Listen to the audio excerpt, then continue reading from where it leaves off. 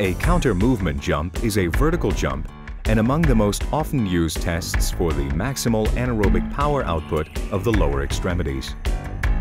It is an eccentric concentric muscle action that involves the coordinated extension of the torso, hip, knees, and ankles.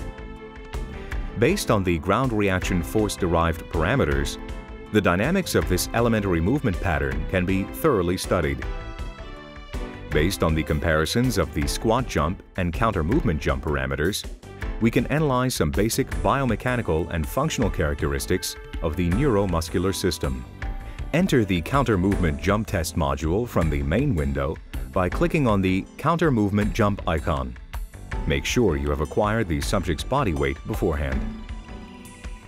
Consistently with the organization of all the MARS test modules, the interface is divided into a left setup panel, a right analysis panel, a bottom measurement panel, and the central signals and results area. Before starting the measurement, appropriate input parameters must be determined in the setup panel. These are lower extremities, where you can choose among the following. Bilateral jump, jump with the left leg, or jump with the right leg. And upper extremities, where you can choose among hands positioned on the hips, freely positioned, crossed over the chest, or positioned behind the neck.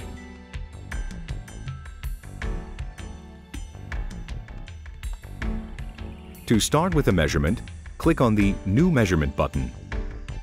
If necessary, the measurement mode can be cancelled by pressing the Cancel button. Before starting with the measurement, the subject has to assume the appropriate initial position that is, standing without any flexion in the knees or hips and with his or her sight directed towards the front. The goal of the task is to produce an explosive vertical jump with a prior dynamic downward movement. Initiate the measurement by clicking the Start button. When landing, the very first contact has to be performed with extended legs and the feet in plantar flexion. This is then smoothly followed by normal amortization of the lower extremities. The measurement stops automatically after landing. It can also be stopped manually by clicking the Stop button in the lower panel. The measurement can be repeated by clicking on New Measurement, thus not saving the previous repetition. If you are satisfied with the measurement, you can save it. The central window displays the ground reaction force signal measured by the force plate. Markers are positioned automatically on the most relevant spots used for analysis. The initiation of the movement action, marked by the Start cursor, is identified by a decrease in the ground reaction force profile. Takeoff and landing can be easily identified by the moment when the ground reaction force falls to zero and starts to increase again. The cursors positioned on start, takeoff, and landing can be manually adjusted. Other cursors are adjusted automatically.